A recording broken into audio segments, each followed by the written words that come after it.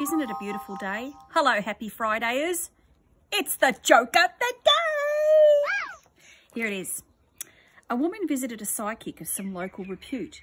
In a dark and gloomy room, gazing at the tarot cards laid out before her, the tarot reader delivered the very bad news.